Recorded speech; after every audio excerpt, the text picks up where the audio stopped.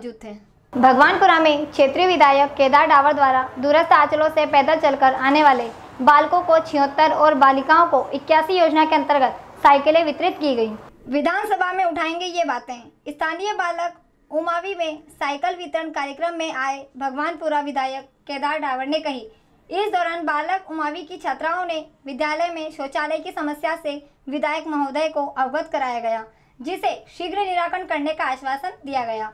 और कहा कि प्लेग्राउंड को सीमेंट्रीकरण में विधायक नीति से 10 लाख और सरपंच देवनारायण ठाकुर ने पंचायत निधि से 10 लाख रुपए से नवनिर्मित किया जाएगा।